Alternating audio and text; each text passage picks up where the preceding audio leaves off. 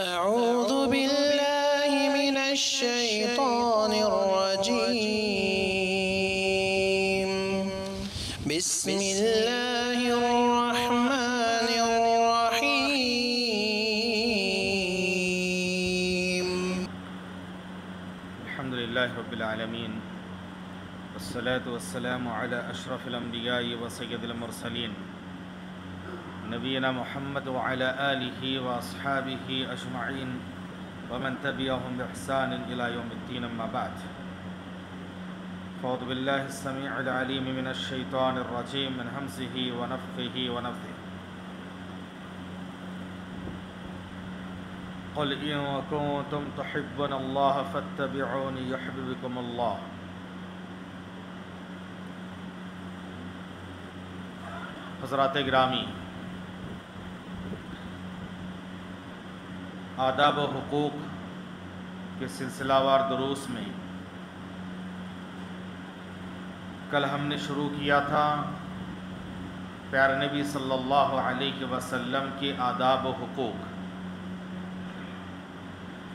आप सल्लल्लाहु अलैहि वसल्लम के आदाब व हुकूक में चंद बातें हम मालूम किए थे। उन्हीं में से एक बात है कि प्यारे नबी सल्लल्लाहु अलैहि वसल्लम से हद दर्जा मोहब्बत हो।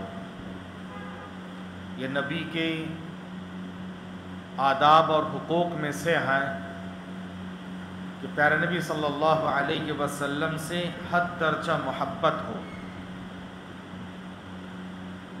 सही बुखारी और मुस्लिम की हदीस है प्यारे नबी सल्लल्लाहु अलैहि वसल्लम ने इरशाद फरमाया वल्लदी नफ्स बियदी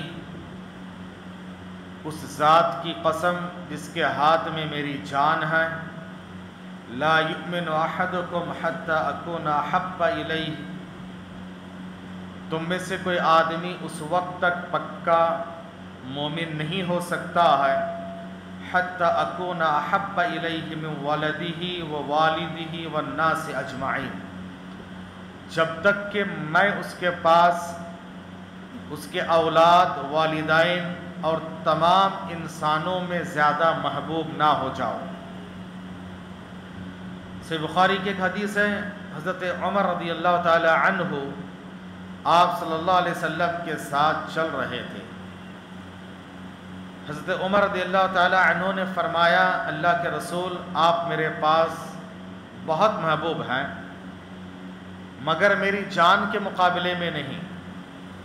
तो नबी ने फरमाया कि, उमर, तुम्हारा ईमान अभी मुकम्मल नहीं हुआ है। जब तक मैं तुम्हारे नज़दीक तुम्हारी हर चीज़ से ज़्यादा महबूब ना हो जाऊँ। तो हज़रत उमर ने कहा कि, अभी आप मेरे नज़दीक मेरी जान से ज़्यादा महबूब हैं। तो आप सल्लल्लाहु अलैहि वसल्लम ने फरमाया अल आन या उमर। अय उमर, अभी आप ईमान के आखिरी और ऊँची दर, ऊँचे दर्जे को, कमाल के दर्जे को पहुँच गए। तो आप सल्लल्लाहु अलैहि वसल्लम से मोहब्बत सबसे बढ़ के होना चाहिए। और यही वजह है कि साहब कराम अपनी जान से बढ़ के आप सल्लल्लाहु अलैहि वसल्लम से मोहब्बत करते थे।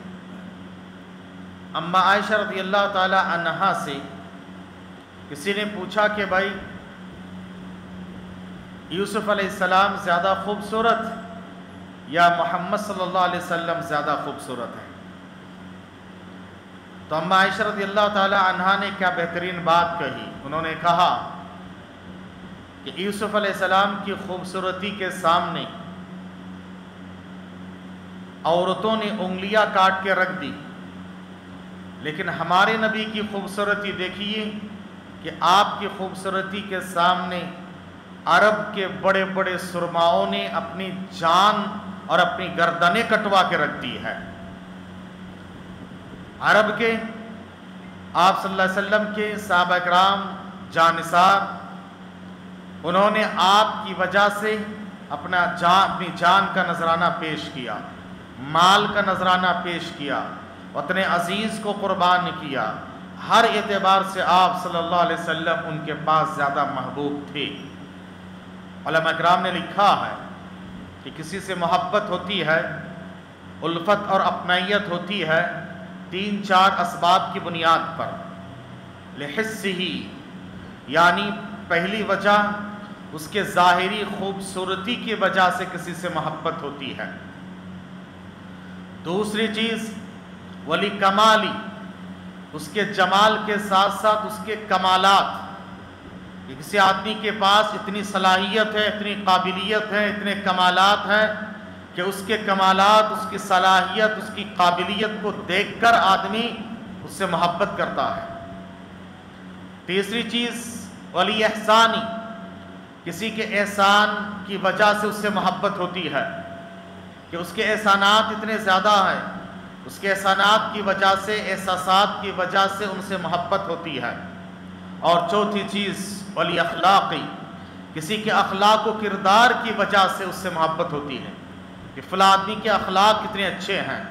उसके किरदार, उसके बिहेव और उसका कैरेक्टर कितना अच्छा है, उसकी वजह से मोहब्बत होती है। ये चार इसबाब हैं किसी से मोहब्बत होने के लिए। एक तो उसके जमाल दूसरा उसके कमाल, तीसरा उसके अखलाक, चौथे उसके एहसानात। आल इल्म ने लिखा है, ये चार चीज़ें एट ए टाइम किसी इंसान के अंदर हो बहुत मुश्किल है। कि वो खूबसूरत भी हो, अखलाक व किरदार के मालिक भी हो, बेहतरीन कमालत, सलाहियत, काबिलियत भी हो, और साथ साथ उसके अखलाक व कैरेक्टर और उसके एहसानात भी हो। कोई एक चीज़ होती तो कोई एक चीज़ नहीं होती है। कोई दो तीन चीज़ें होती तो एक नहीं होती है। लेकिन प्यारे नबी सल्लल्लाहु अलैहि वसल्लम के अंदर ये चारों के चारों चीज़ें अतम दर्जे में मौजूद थी। ये चारों चीज़ें बदरज अतम मौजूद थी। अल्लाह अकबर। ये प्यारे नबी सल्लल्लाहु अलैहि वसल्लम का मुकाम है कि आपसे हर चीज़ से ज़्यादा मोहब्बत क्यों होनी है?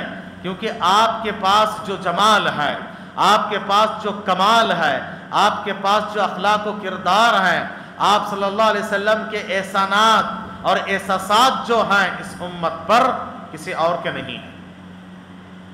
तो आपसे हर एक से ज़्यादा मोहब्बत होनी चाहिए। आप सल्लल्लाहु अलैहि वसल्लम के ज़ाहिरी खूबसूरती के ताल्लुक से अभी मैंने अर्ज़ किया। उम सलम रदी अल्लाह तहा बयान फरमाती है। चौदहवीं की रात थी। प्यारे नबी सल्लल्लाहु अलैहि वसल्लम एक सुर्ख लिबास में टेरेस पे घूम रहे थे। तो मैं कभी आसमान के चाँद को देखती थी और कभी ज़मीन के चाँद को देखती थी। तो मुझे ज़मीन के चाँद, आसमान के चाँद से ज़्यादा खूबसूरत लगते थे। अल्लाह अकबर। ये प्यारे नबी सल्लल्लाहु अलैहि वसल्लम के ज़ाहिरी खूबसूरत है।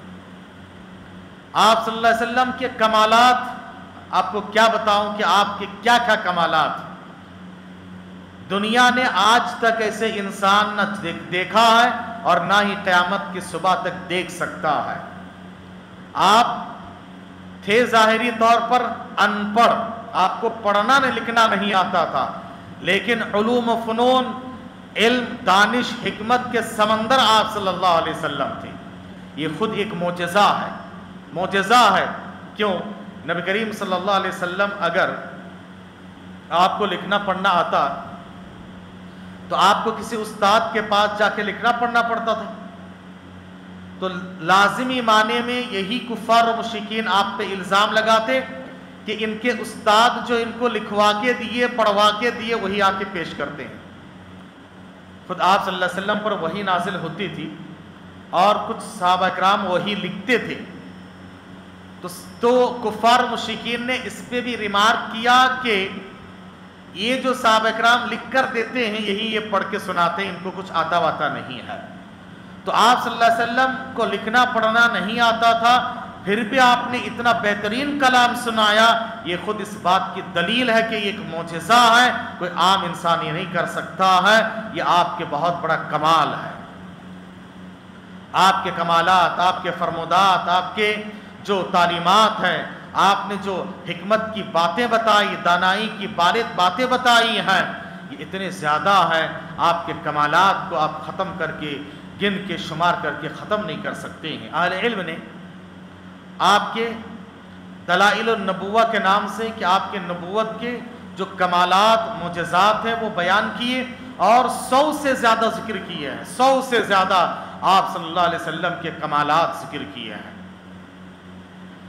आपके अखलाक व किरदार की अगर बात करें, आप सल्लल्लाहु अलैहि वसल्लम के अखलाक व किरदार, रब कायनात ने अरश अजीम से इस बात की गवाही दी इन नकल खुलकिन अदीम आई नबी, आप अखलाक किरदार के सबसे ऊँचे मैार पर फाइज हैं। अखलाक किरदार के सबसे ऊँचे मैार पे आप फाइज हैं। यह रब कायनात की गवाही है। और आपकी नबूवत की दलील के तौर पर आपके अखलाक को पेश किया गया। आपने सबसे पहले जो तालीम दी, सबसे पहले दाद तबलीग का काम शुरू किया तो आपने तोहहीद से पहले शिरक से रोकने से पहले, ईमान से पहले अपने अखलाक को पेश किया।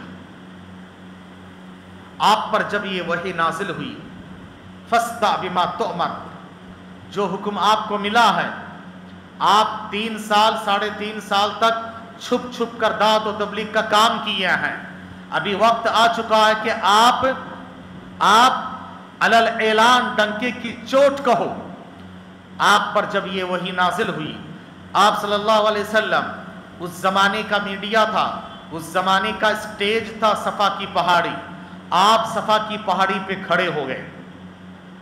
आपने उस जमाने के मीडिया को, उस जमाने के स्टेज को इस्तेमाल किया, मगर मीडिया की गलतियों को आपने छोड़ दिया। उस जमाने में किसी को अगर अहम पैगाम देना होता था तो सफ़ा की पहाड़ी पर नंगा खड़े हो जाते थे और लोगों से कहते, लोगों नदीरुल मैं नंगा डराने वाला हूँ, आ जाओ, अहम बात बताने वाला हूँ। सारे मक्के के लोग वहाँ जमा हो जाते थे। प्यारे सल्लल्लाहु अलैहि वसल्लम, स्टेज का इस्तेमाल किया, मीडिया का आपने इस्तेमाल किया, मगर आप कपड़े नहीं उतारे। आपने फरमाया, मैं नंगा नहीं अनन नदीरुल मुबीन, मैं खुला डराने वाला हूँ। लोगों, जमा हो जाओ, जमा हो जाओ। सारे लोग जमा हो गए। तो आपने सबसे पहले अपने अखलाक को, किरदार को पेश किया। फरमाया, लोगों, बताओ, तुमने मेरी चालीस साल की ज़िंदगी के चालीस पन्ने पढ़े हैं, चालीस पन्ने देखे हैं। बताओ, मेरे अखलाक और किरदार में कोई दाग और धब्बा तुमने पाया है?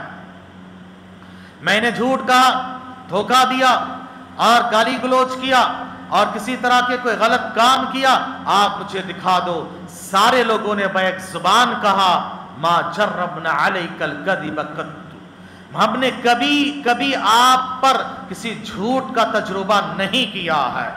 आप पर कभी हमने झूठ का तजुर्बा नहीं किया है। आप बेहतरीन अखलाक किरदार के मैार पे फाइज हैं। ये गैरों की गवाही है। वलफदल मा शहीदत बिहिल आदा। सबसे बड़ी फजीलत की बात वो होती है कि दुश्मन भी उसको इकरार करने पर मजबूर हो। ये सबसे बड़ी सलाहियत और काबिलियत की बात होती है। दुश्मन भी गवाही दिए, आप अखलाक के ऊँचे मैार पर फाइज हैं। और आपने अपने अखलाक को सबसे पहले पेश किया। यह आपके अखलाक, अल्लाह अकबर। आपके अखलाक के बारे में अगर बयान किए जाए, घंटों ना काफ़ी है। कि आपने कैसे कैसे सलूक किया है?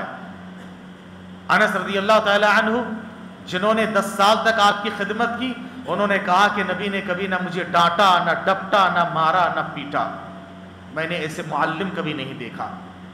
आप सल्लल्लाहु अलैहि वसल्लम की शख्सियत का रोब दबदबा था, लेकिन आप सल्लल्लाहु अलैहि वसल्लम ने कभी किसी का दिल नहीं दुखाया है।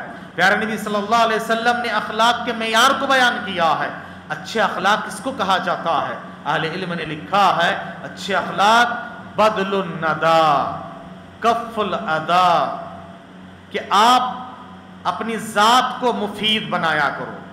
अपनी ज़ात से किसी को तकलीफ़ ना दो, अपनी ज़ात को मुफीद बनाया करो कि आपकी ज़ात से माशरे को सोसाइटी को फ़ायदा होना चाहिए। बेलौस खिदमत किया करो बेलोस खिदमत किया करो और फिर इसी तरह से ना सिले की उम्मीद, ना सवाब की तमन्ना, ना तारीफों की उम्मीद हो। बल्कि बेलौस आप काम करो और आपकी ज़ात को माशरे सोसाइटी के लिए मुफीद बनाया करो। आप अगर कम से कम अपनी ज़ात को माशरे और सोसाइटी के लिए मुफीद नहीं बना सकते तो अखलाक का ये मैार है कि आप अपनी ज़ात से किसी को तकलीफ़ ना दो, कि आपकी ज़ात से माशरे सोसाइटी में कोई खैर ना रुके, कोई खैर का काम आपसे ना रुके बल्कि आपको चाहिए कि आप कफ अदा, यानी तकलीफों को रोक ले, अपनी ज़ात से किसी को तकलीफ़ ना दे। और फिर इसी तरह से तलाकतुल वज लोगों से मिले तो मुस्कुराते चेहरे के साथ मिले। मुस्कुराते चेहरे के साथ मिले, साफ़ खुले दिल के साथ मिला करें। ऐसा ना हो कि सीने में कीना भर के रखे हैं, सीना बेकीना हो और मिले मुस्कुराते चेहरे के साथ लोगों से मिला करे ये अखलाक के मैार हैं और अपने नफ्स और नफसानी ख्वाहिशात को कंट्रोल करें। यह अखलाक के मैार हैं। प्यारे नबी सल्लल्लाहु अलैहि वसल्लम के पास ये सारी की सारी बातें मौजूद थी। तो आपके ये अखलाक किरदार हैं कि आप सल्लल्लाहु अलैहि वसल्लम के पास एक मरतबा, एक बद्दू आया। एक बद्दू, एक देहाती आया। मांगने के लिए आया। अब बद्दू, देहाती आदमी उसके पास वो अखलाक किरदार नहीं होते हैं। आप सल्लल्लाहु अलैहि वसल्लम को ज़ोर ज़ोर से पुकारना शुरू किया। यहाँ तक कि आपकी चादर पकड़ के खींचा और आपकी चादर आपके चेहरे मुबारक पे लग गई और लग जाने से आपको निशान पड़ गई और ज़ोर से खींचा उसने और कहा कि, मैं परेशान हाल हूँ, मुझे सकात में से सदकात में से दिया करो। आप सल्लल्लाहु अलैहि वसल्लम पीछे पलट के देखे कि देहाती बद्दो आदमी आप देखकर मुस्कुरा दिए। ऐसी हालत में आप देखकर मुस्कुरा दिए हैं। तो याद रखिए कि प्यारे नबी सल्लल्लाहु अलैहि वसल्लम की ये अखलाक किरदार हैं। मदीने की एक दीवानी औरत दीवानी औरत। लोग सब उसको दीवानी समझते थे, कोई उससे बात करने तैयार नहीं। वो आती आने के बाद प्यारा नबी सल्लल्लाहु अलैहि वसल्लम के हाथ पकड़ती और कहती, चलिए मेरे साथ आपसे कुछ काम है, आप सल्लल्लाहु अलैहि वसल्लम उसके साथ हो लेते हैं। ये नहीं कहते तो दीवानी पागल कहीं कि जा, मेरा ये ऊँचा मुकाम है, मर्तबा नहीं। आप सल्लल्लाहु अलैहि वसल्लम उसके साथ चलते हैं, चलो क्या देखते हैं इसके, क्या हाजत और ज़रूरत है? थोड़ी दूर जाने के बाद वो औरत खुद ब खुद हाथ छोड़ देती है और कहती है कि ठीक है अब चाहिए पागल औरत है। लेकिन नबी ने उसके भी जज्बात एहसास की कदर किया हैं और उसके साथ भी ये सलूक किए हैं। याद रखिए, आपके अखलाक व किरदार का क्या बताऊँ? कि आपने अखलाक व किरदार को ईमान से जोड़ा है। कहा कि तुम में सबसे बेहतरीन इंसान ईमान के अतबार से वो है ईमाना अहासिन अखलाका। जिसके अखलाक अच्छे हैं, वही ईमान में मुकम्मल है। जिसके अखलाक अच्छे नहीं है, उसके ईमान मुकम्मल नहीं हो सकते हैं। तो आज मैंने आपके सामने अर्ज़ किया कि नबी से हद दर्जा मोहब्बत होनी चाहिए। क्यों मोहब्बत होनी चाहिए? क्योंकि नबी के पास ये चार कमालात हैं। आपके ज़ाहिरी खूबसूरती, आपके एहसानात, आपके अखलाक और आपके कमालात। जो किसी और के पास उतने नहीं है तो आपसे इतनी ज़्यादा मोहब्बत हो जो किसी और से ना हो। और ये मोहब्बत का लाजमी तकाजा ये है कि नबी की इतात फरमा बरदारी हो, जैसे कि हमने कल मालूम किए हैं। दुआ कीजिए रबालमीन से अल्लाह तबरक हमें और आपको कई सुनी बातों पर अमल की तोफ़ी अता फरमाए। आमीन। सुबह हमद का शद अस्तफ़र का तो नबीना मोहम्मद।